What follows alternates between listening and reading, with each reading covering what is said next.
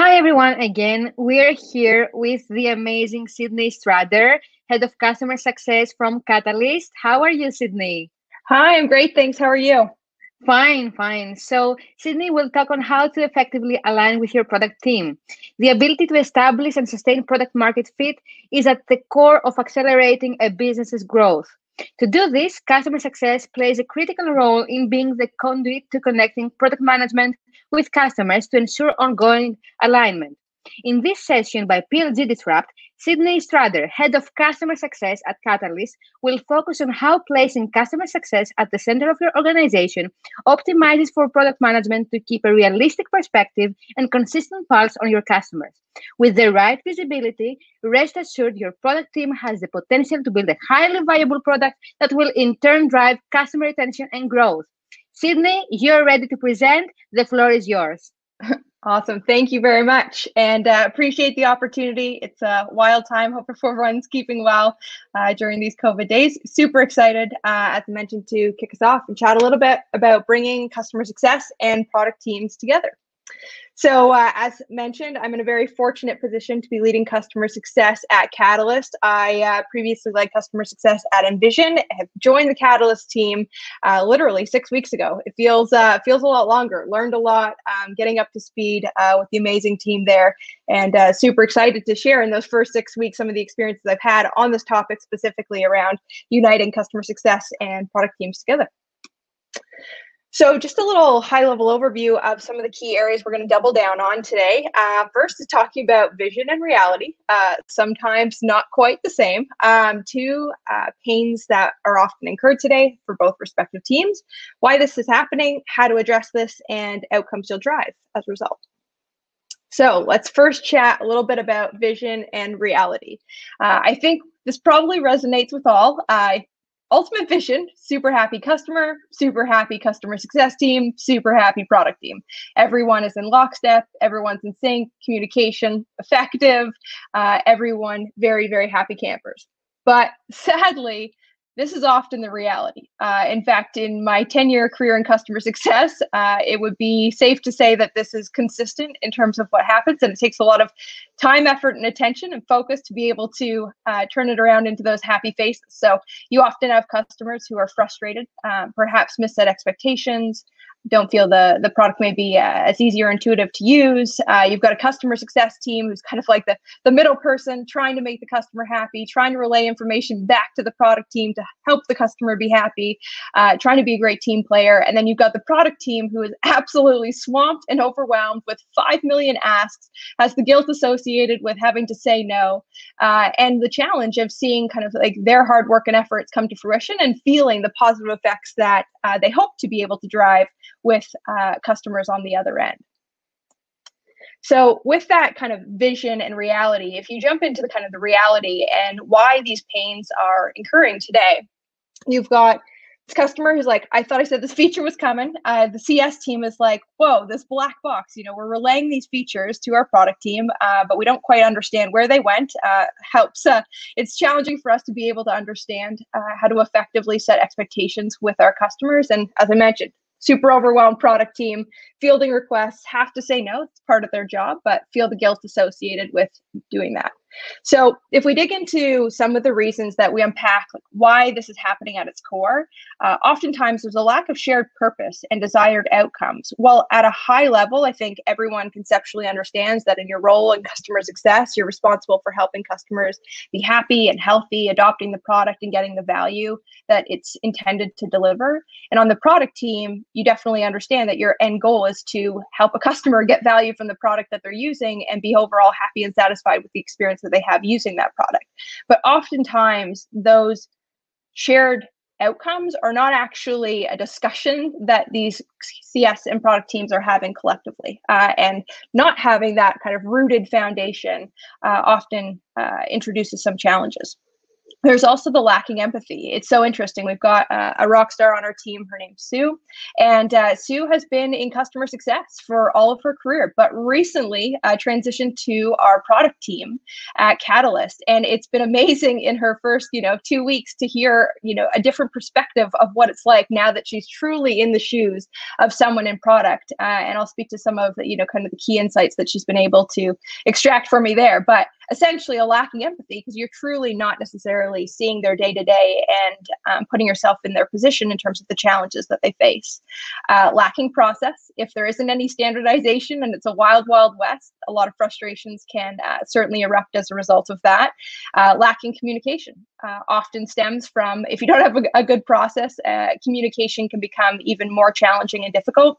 And uh, how people communicate is very different. I'll speak to some examples of that in terms of you know looking at a persona of someone who's a customer success manager uh, and that of a product manager, how they communicate, how they uh, project information, receive information can be very different. And unless you understand different folks' communication styles, there can be constant friction there. Uh, and then lack of accountability. We don't have a purpose and a shared outcome, uh, and we don't have an understanding of the processes we're trying to follow and how to effectively communicate with one another. Accountability can kind of go by the wayside, and that drives a lot of uh, frustration amongst the teams as well.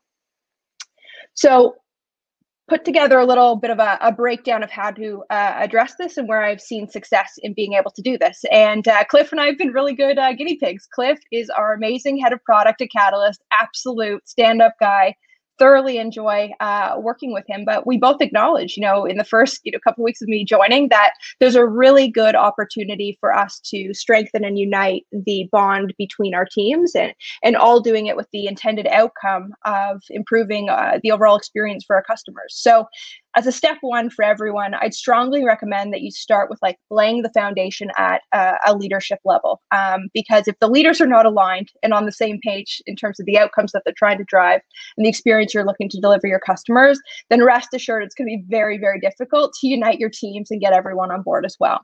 So this is a little bit of a framework that I absolutely um, have leaned on and love to use. And it starts kind of way out there and then like dialing it back to the action that you can take today. So step one um, down here being, you know, what do you want to be remembered for by your customers? when we threw that out um, to our teams and you know just even before that when cliff and i were talking directly like we want our customers to think of our team as the absolute best experience that they've ever had working with a saas product uh, they want it to be easy, simple, reliable. Uh, we want to be remembered as the team that customers look at as the example that they try and replicate in their organization. And from defining that vision, you know, then we have to ask ourselves, well, how are we showing up relative to that vision today? And where are we falling short? And why specifically are we falling short in those areas? And how can we improve uh, to meet our shared vision? And a lot of it goes back to you know the lacking empathy lacking shared purpose lack of communication. We may be working on the accountability piece. Um, so very common uh, trends that are associated with why that those gaps exist. So once cliff and i had this amazing conversation we got alignment ourselves. We knew what it was that we ultimately wanted uh, to drive amongst our teams. Then we brought in the crew. Uh, and this piece is absolutely critical. On the left here, you have all these amazing faces of the Catalyst product and customer success teams. Um, because if it's purely a top down driven initiative in, which we're kind of like mandating everyone get, get on board, uh, it doesn't become adopted. It doesn't become something that they helped build. And what we knew is that there's friction on both sides, understandably, uh, of our two teams. And so we needed to create a, a safe space to be able to do that. So um, a couple kind of guidelines and lessons learned, I would say, uh, that I've thrown out here is one like set the stage proactively. Uh, we recommend like 48 hours um, before the call, like help everyone understand specifically like why we're doing this and, and what it is that we're trying to drive. We're ultimately trying to drive uh, a better experience for our customers, but we also want it to be a great, fun, cultural working environment for all of us. Uh, and when you know that you've got partners in crime, you know that everyone's on the same page. When you know you can effectively communicate and recognize people for for job well done, but also you know be constructive where there's areas for improvement and that opinion is respected. Um, you can achieve a lot, and it's a very fulfilling team to be a part of, and that's something that we're striving for. So making sure that we were able to effectively set those expectations um, for the team, and also you know kind of help them understand in their own words why why we're here today right uh, cliff and i both independently spoke to our respective teams and said you know here are some of the pain points that we're hearing right transparency on the roadmap accountability in terms of timelines on the product side. You know there was frustration in terms of well what is it that you know, customer success is doing to help drive uh, adoption of new features? You know we put so much time effort and detail into building these things. What the heck are we doing to get them adopted? Uh, and that being a point of friction. So just really driving that empathy that we're hearing you we're listening to you but we need to we need to drive forward action um, that's going to help to correspond and then the second step is like repeat the same model uh, that I shared uh, in this slide here, which is like bringing the collective teams together, proposing these questions in advance so they have some time to think about it. But starting off at like, you know, at a foundational level, what do we want to be remembered for? Um, and then freeing up the dialogue to focus on these respective areas of where are we today? Where are we falling short? Why are we falling short? And what action can we all take uh, accountability for moving forward? And uh, then big big takeaway is just like make sure that you recap and it's actionable. So often you know if, if we take the first step of having this conversation it may like just fall by the wayside everyone goes back to their natural habitat and, and no actions taken. So making sure at the conclusion of that discussion um, that that dialogue is captured in a note uh, that there's clear takeaways in terms of what's to happen next and when um, so that everyone feels like there's not just progress in the therapy of the discussion but actually uh, driving forward activities associated with helping to improve.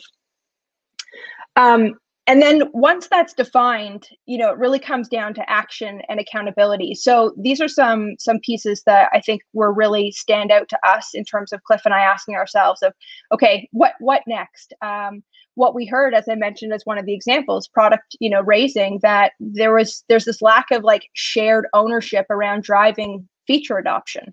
Uh, so how can we introduce some shared KPIs that we all have mutual kind of buy-in to that we're consistently evaluating our performance against um, and driving that focus and discipline amongst our team. The second is recognition. At uh, Catalyst, we use a tool called Lattice, um, and it's a way for us to be able to recognize peer-to-peer, leader to uh, to ICs on the team, uh, et cetera. And it's a great way to just reinforce those positive behaviors that you wanted to see. So a really good example uh, that happened today following our conversation was like, you know, we had a couple PMs that were just like very candid about their experience in this discussion in terms of where there was room for improvement, as well as the customer success team. And the fact that people are being open and direct in terms of like, here's what I would have liked to have seen. This is how I think we could do differently um, is a great way to to just reinforce that recognition of those behaviors, sharing that perspective so that we continue to get better together um, incorporating expectations of how these two teams show up in their performance reviews and making sure that it, it's formalized, it's a shared expectation, it's consistently being evaluated, and feedback in given in the moment relative to that and captured more thematically as part of their performance review. Um, another great way to drive partnership is uh, inclusivity in the context of like bring PMs into your hiring process for customer success and vice versa uh, on the uh, product side. So, most recently, we were uh, going through a very exciting recruiting process for a new CSM for Catalyst incredibly excited to have Diana on board. Uh, and Tyler, one of our product managers, was actually part of our interview um, panelists. And we really tasked Tyler with like evaluating the candidacy of these candidates in the context of being an amazing partner to product uh, and also with the bigger kind of lens of how does this individual partner with marketing and how does this individual partner with sales and other functions of the organization. And so bringing Tyler in to be a part of the process of that evaluation very much continues to tighten um, that bond between CS and product. So looking for opportunities to bring one another uh, into each other's world goes a long way.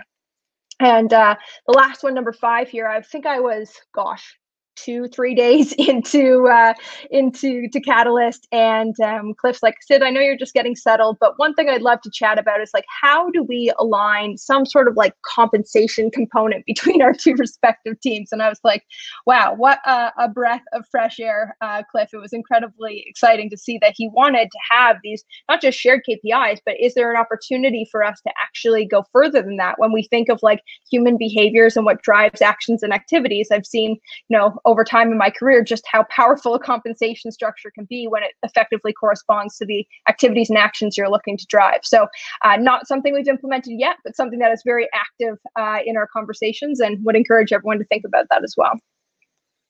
So, uh, as I mentioned, six weekend catalyst here, and uh, this is uh, something that we are. It's a work in progress, um, but a couple key takeaways and learnings uh, that I can certainly share from from us putting uh, this into motion. One, um, make this a one agenda meeting. Uh, Cliff and I will take full accountability that we merged this conversation as part of a separate discussion that was also focusing on our Q4 roadmap and the context shifting and the lack of focus to like, let's just bring our teams together with one united purpose fell short. Um, so if we could do it all over again and pass our learnings on to all of you, the recommendation would we be make it a priority, make it the sole focus, and don't dilute it as part of other product CS related discussions. Um, the second one which i thought was an amazing shout out from from cliff is like when we looked at how the two teams communicated and engaged with one another uh, in the actual discussion and dialogue and then the feedback that we got from the two respective teams after basically cliff summarized it well. He's like we've got artists and we've got scientists. And the artists were like the customer success team. They were ready to have a dialogue just like kind of shoot the shit if you will not necessarily super um, programmatic in terms of how we approach the discussion. But on the product side, they want it very formalized. They wanted to have like a specific question that was poised, everyone talked to it, open dialogue on the screen, sharing your notes so everyone could see it firsthand. So there was very much a different dynamic um, to the communication styles of the two teams, which was so interesting to see it so clearly in that moment, but often gets diluted if you're thinking one to one communication. So I think that that was a great way to quite frankly, build empathy and truly understand why there's so often friction in this process because of those um, different communication styles, not one necessarily right or wrong, but different, and needing to understand how people effectively uh, communicate um, based on their own styles. Um, I think another big takeaway was like reinforced share ownership and taking action. Um, one area that you know we have some some development work to do is like this isn't solely a Sid and Cliff problem to to fix. This is a collective team problem. And if there is, you know, some frustration on, on the product side in relation to, you know, hey, are our features getting adopted? Or is there as much accountability on the customer success side side to drive that adoption that no one fears on the product side to bring up those KPIs and say, you know, let's let's all align on these. Let's bring them up on our weekly cs and product call and you know check in and see how we're doing relative to those and how we could be improving. So just making sure that everyone knows it's within their control to take action. It's strongly encouraged and that if everyone you know has a mutual ownership of this uh, and it's not just waiting for the next person to pick it up and, run with it we'll get a lot further faster in, in tightening that bond um, feedback was huge. I mean, now when we're going to build on on the first conversation to the next conversation, there's lots of things we know that we can do differently. As I mentioned, like a one agenda meeting. This is the sole focus uh, of the dialogue and conversation. Reapproaching it with more structure than the initial structure uh, that we proposed. And I think you know having that feedback and consistently iterating it on shows that there there's progress. Um, the last bullet is like be patient. Um, this friction didn't evolve overnight, and it's not going to be solved in a meeting. So, uh, as much as you want to have this like amazing breakthrough meeting and everyone's besties after it, and everyone's off to the races in terms of how they can be better partners to one another, it does take time. It's a change in behavior, it's a change in motion, uh, and that's why that recognition piece that I mentioned is so critical, so that people see that as they are actioning what we said we needed to do to improve, it's being recognized, reinforced, and ultimately becomes the stronger muscle of the muscle memory versus how tr- things are traditionally uh, done today. So uh, these are really the outcomes uh, that I think you know everyone keep keep an eye on and what you're ultimately trying to drive for. But that shared purpose and desired outcomes, uh, empathy for one another and their roles, um, process to drive repeatability. Uh, you know we're all aspiring to be scaling organizations, and, and, the more people you bring on, if you don't solve this at the core, uh, rest assured it only gets further out of hand from there. So definitely making sure that, that that's in place uh, effective channels of communication and mutually held accountability all levels. Again not a Sid and cliff thing. Um, everyone can hold one another peer to peer responsible for the areas that we have uh, walked away with saying that we're looking to improve So with all of those outcomes, uh, all of those those actions, the outcomes you'll drive are trust. Uh, if you have an incredibly united customer, uh, sorry, customer success team and product team, rest assured that the customer feels like they're very much being heard, listened to, have transparency into, etc. Uh, a great example uh, of, I would say, improvement for Catalyst after this dialogue was getting context as to why we deliberately chose only to have two beta customers in a particular beta that we have for a new feature coming out. Um, there was such great context around platform reliability and ensuring that it was more um, it was a very proactive you know conversation that they had and assessment that they did. And also you know making sure that it didn't compromise any other customers um, overall performance of the product. And the fact that they did that proactively they did it intentionally they gave us the context behind that allowed us to go back to other customers to help them understand why we were so intentional about that that two limit beta um, overall, better customer experience is going to lead to retention and growth, particularly when you nail the muscle of like, what are the pains that customers are experiencing? Product helping solve those pains and customer success going back to effectively prescribe the solution based on the pain that was originally articulated. Um, advocacy goes an exceptionally long way when you've got super happy customers. Um, you know, we've got Scott at Braze, uh, an incredible customer of ours. He is just consistently preaching the good word about his experience uh, using Catalyst, and we are so appreciative of that. But we had to earn um, Scott Scott's advocacy, and we have to continue to to earn and sustain that. Um, it's incredibly impactful to to any business, and it's something that has to be uh, upheld. Um, so it's super important there. Uh, employee satisfaction, as I mentioned, like I show up for a job because I want to have fun. Uh, I want to laugh. I want to enjoy myself. I want to learn from the others around me. Um, and also, like when you go through these rocky waters, as we've all encountered over the last seven, eight months, a pandemic hits, like it builds up employee resilience. If you have an incredibly tight, united team, no matter what curveball you get, everyone remains in lockstep, effective communication, the processes don't break down, and you're able to be resilient through some of the toughest times, which I know we're all experiencing right now. So, as a friendly recap, takes time. This is someone I'm not very patient person, so I have to work with my patience, be patient, be consistent, and ultimately you will drive the outcome of a super happy customer, a very happy customer success team, very happy product team, and collectively you will drive that product market fit, overall customer satisfaction, and significant advocacy uh, in the space.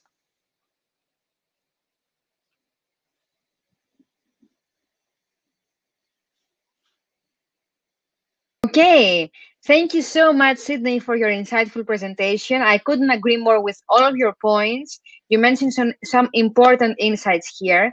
So I have two questions for you. Uh, the first is, can you refer to the main KPIs you use to align with product management? Yes, I can. So this is a work in progress, full transparency. But um, I touched on one of them in terms of the uh, product adoption. So that's something that we want to absolutely nail. That when we launch a feature, we are consistently measuring and have a target level of adoption of users using the product. Um, in addition, NPS is something that we're using today to to gauge satisfaction um, throughout the customer's life cycle. And very often, what we see is that the NPS results are directly correlated to product and the experience. Um, mm-hmm. If it's mm-hmm. compromised, if it's reliable, if it's not. So that's something that we have uh, a shared um, KPI around as well. Very much mm-hmm. in its infancy. We have a lot that we're uh, working through, but um, net dollar retention being another one uh, that we have shared outcomes. Ultimately, if if products doing their job well and CS is helping drive the adoption uh, and buy-in and value realized from those features and functionality, it will drive retention. It will drive further growth and expansion. Uh, so those are the the core KPIs that we have today. But Mm, definitely. Okay. So the second question is that you mentioned ways to sync with product management effectively. Can you share some learnings on how to align also with product management, engineering, and product design, and in general with anyone that's associated with product delivery? Yeah, that is such a good question. So, mm. um, whenever I approached this with with Cliff and was like, "Hey, Cliff, you know, how do you feel about uh bringing our teams together and having this little chit chat?" Um, I was originally like, look, I, I, think holistically, we've got to bring in design, we've got to bring in engineering. Like all of us have to be bought in to what mm. we're attempting to co-deliver to our customers because, you know, you can't do it with just CS, you can't do it with just product, you can't do it with just, you know, product and engineering. Like it, exactly. It, a, it takes a team.